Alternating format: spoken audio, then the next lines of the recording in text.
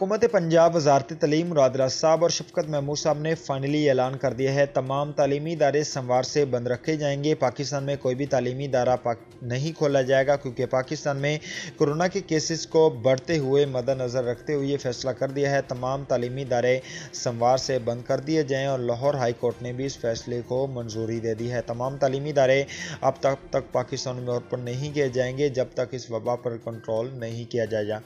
और आज की प्रेस मीटिंग के दौरान वजारत तलीम मुरादरा साहब और शफकत महमूद साहब ने जो बड़ा फैसला किया है। उसकी मुकम्मल इन्फॉर्मेशन और मुकम्मल वीडियो भी तमाम दोस्तों को दिखाना चाहता हूँ, मगर उससे पहले आप लोगों के लिए एक एप्लीकेशन लाया हूँ।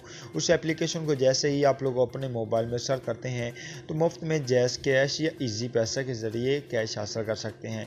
तो सुनहरी मौका है, जल्दी कीजिए, इंस्टॉल कीजिए, मुफ़्त में हज़ार रुपये का कैश भी हासिल कीजिए, क्योंकि पाकिस्तान में ऐसे बहुत से दोस्तों ने इस एप्लीकेशन के ज़रिए हज़ार रुपये कमाए। अगर आप लोग भी कमाना चाहते हैं तो लिंक नीचे डिस्क्रिप्शन में मिल जाएगा।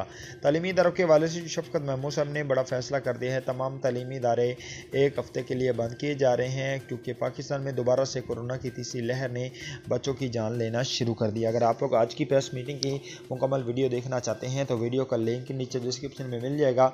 हम आप लोगों को यहाँ पर मुकम्मल वीडियो नहीं दिखा सकते।